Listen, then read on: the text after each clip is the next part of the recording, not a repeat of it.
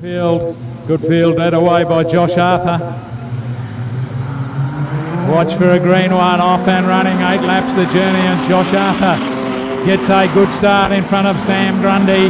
One coming through in car 36 is Darren Lyon straight up into position number three. So it is Josh Arthur. Back behind him is Sam Grundy. Next one there would be Darren Lyon to the better of car five getting up there Lincoln Bath wants a bit of this action and Russell Cowley would be the next one in car number 10 that's the way they settle down through turn three and four. All the western corners as uh, Josh Arthur got a three or four metre lead over second place. Sam Grundy who's coming under plenty of pressure from Darren Lyon.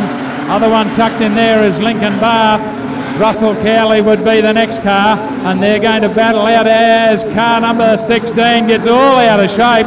Up on the infield and then back on the racetrack he comes. Thank you very much.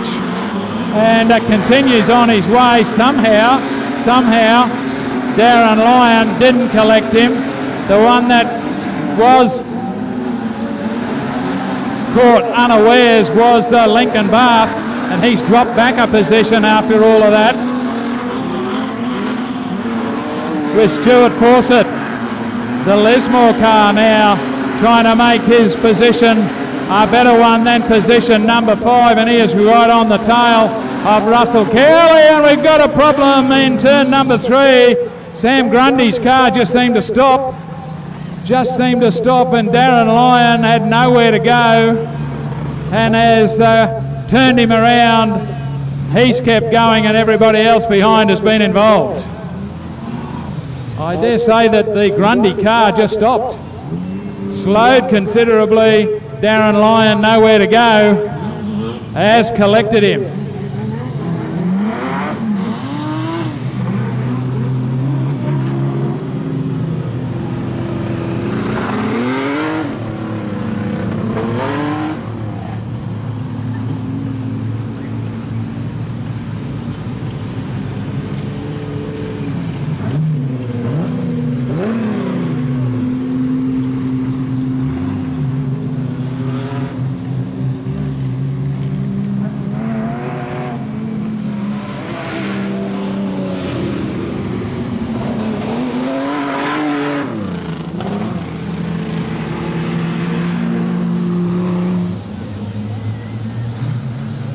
Watch for a restart as they go to the outside of the Witches' hats.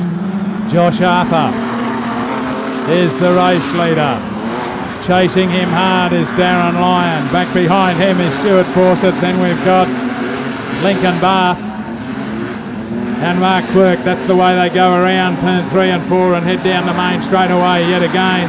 And again, Josh Arthur is able to put some distance between himself and the pursuing cars and the first one of those is Darren Lyon probably battling some handling problems with the car because he's the one that collected uh, the spinning car earlier on.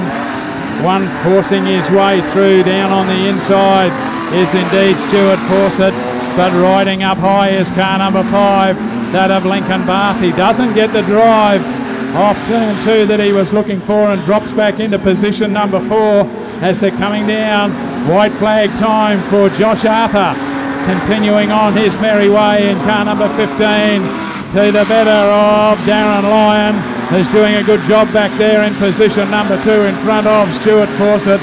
Next one would be Lincoln Bath and trailed out is Mark Quirk, but there's not much distance between first and last as coming around the outside and into position two, right at the death, is Stuart Fawcett.